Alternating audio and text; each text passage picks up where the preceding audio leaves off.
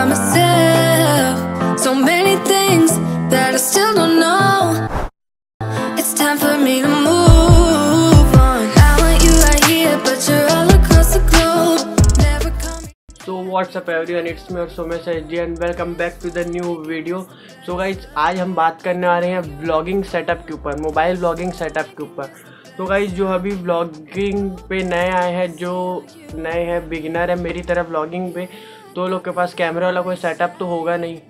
तो वो लोग को मोबाइल से स्टार्ट करना पड़ेगा ना, जैसे मैं कर रहा हूँ, गरीब आदमी।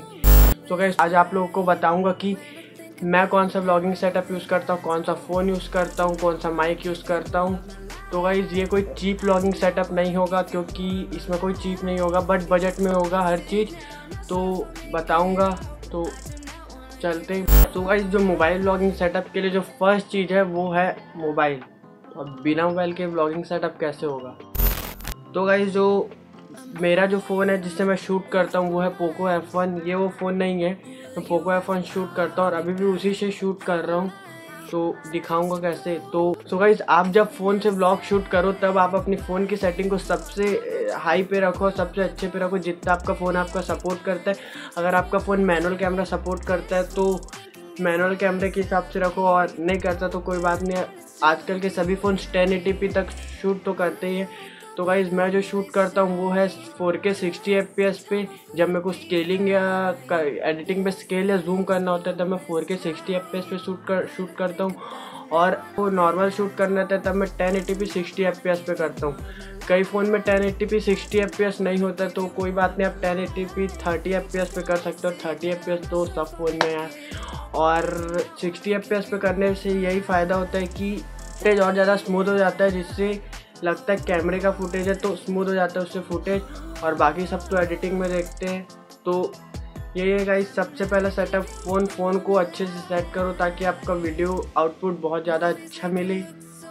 सो गाइस जो सेकंड चीज़ जो आता है, वो है ये माइक तो अगर आपको अभी आवाज़ उतना अच्छे से नहीं आ रहा है, अगर साउंड क्वालिटी उतनी अच्छी नहीं है तो सॉरी गाइज़ मैं माइक को निकाल चुका हूँ क्योंकि आपको दिखाने के लिए। तो गाइज़ जो सेकंड चीज़ है, वो है माइक तो माइक में अभी यूज़ कर रहा हूँ बोया का B Y M M one तो गाइज़ ये बजट में सबसे ज़बरदस्त माइक है।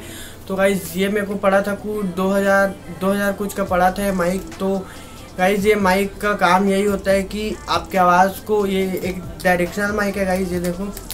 ये डायरेक्शनल माइक है मतलब कि या आप जिस तरफ़ आप इसे, अगर आप इसके तरफ़ मुँह करके बोलोगे, तब आपकी आवाज़ कैप्चर करेगा, बाहर के नॉइज़ को कैप्चर नहीं करेगा। और गाइज़ ये डेड कैट जिससे आपका जो विंड वगैरह का साउंड है, जो आता है, वो इससे नहीं आएगा।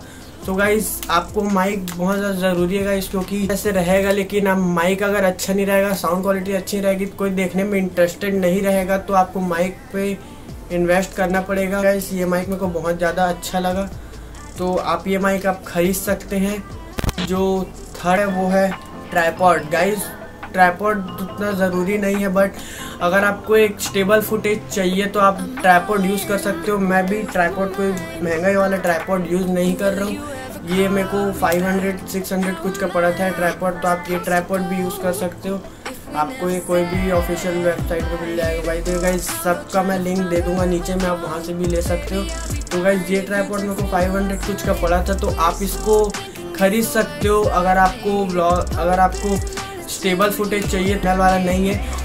अगर आपका बजट अच्छा है तो आप ओरिजिनल वाला भी खरीद सकते हो गाइस तो बट ये ओरिजिनल वाला नहीं है तो आप खरीद सकते हो। और गाइज़ जो फोर्थ चीज़ आता है, वो है ये अडेप्टर तो गाइस ये सबसे महँगा मेरे को पड़ा था। सेकेंड तो गाइज़ ये जो है, ये अडेप्टर तो गाइज़ ये एल्यूमिनियम का अडेप्टर है, जो मेरे को पड़ा था, वही 2000 कुछ का पड़ा था। मेरे ब्लॉगिंग सेटअप पे सबसे महँगा गाइज़ यही है। फ़ोन के बाद यही है। तो गाइज़ ये इतना महँगा लेने का मेरा रीज़न यही है कि मैं जितने भी अभी तक मैंने वीडियोस देखे उस पर जो भी मैंने देखे उस पर जो कॉल शू माउंट लगाते हैं, उसको डायरेक्ट चिपकाते तो जुगाड़ वगैरह बनाने के बाद उससे अच्छा सीधा ले लो। ये मज़बूत भी है और स्प्रिंग स्प्रिंग वाला भी है। और गाइज़ इस पर आपको वो शू माउंट पहले से ही मिलेगा, जिससे आप इसको माइक को आप इस तरह से अपने आप ऐसे लगा सकते हैं, जैसे कैमरे में रहता है, उस टाइप का आपको इसमें पहले से मिलेगा। तो ये सबसे महँगा मेरे को पड़ा था। आप चाहो तो दूसरा भी ले सकते हो, लेकिन मैं अभी आप चाह आपको ट्राईपोर्ट के साथ ऐसा वाले मिलेगा लेकिन आप चाहो दूसरा भी ले सकते हो मैंने अभी तक यही यूज़ किया तो मैं यही यूज़ कर रहा हूँ। आप दूसरा भी ले सकते हो तो गाइज़ यही था बस यही था मेरा ब्लॉगिंग सेटअप और गाइज़ मैं आपको प्रेफर करूँगा कि अगर आप नए ब्लॉगर हो तो पीछे की पीछे की बैक कैमरे से आप ब्लॉगिंग शूट करो बिकॉज़ बैक कैमरे से ब्लॉग शूट करने में अगर आप, आप अगर आप नए नए ब्लॉगर हो, अगर आपको अभी बोलने अच्छे से नहीं आता है जैसे कि मेरे को नहीं आता तो आप अगर आगे कैमरे से देख कर शूट करोगे तो आप की तरफ़ ही देखना, अगर स्क्रीन की तरफ़ देखोगे तो उनके ऑडियंस को लगेगा कि आप दूसरे साइड में देख रहे हो। तो आगे कैमरे से आप शूट कर रहे हो फ्रंट कैमरे से तो आप लेंस की तरफ़ ही देखना। और गाइज़ मैं फ्रंट कैमरे से शूट इसलिए नहीं करता क्योंकि फ्रंट कैमरे में कुछ सिक्सटी एफ़ वाला जो स्मूथनेस है, वो नहीं मिल पाता और प्लस बोल नहीं पाता। तो गाइज़ मैं इसीलिए बैक कैमरे शूट करता हूँ। बैक कैमरे फुटेज मेरे को अच्छा लगता है। तो मैं आपको प्रेफर करूँगा कि आप भी बैक कैमरे से शूट करो। और बाकी आपके ऊपर है गाइज़ तो यही था मेरा ब्लॉगिंग सेटअप तो गाइज़ ये था मेरा आज का ब्लॉगिंग सेटअप अगर आप एक फ़ोन ब्लॉगर हो तो आप ये सेटअप को यूज़ कर सकते हो, आप ऐसा सेटअप बना सकते हो।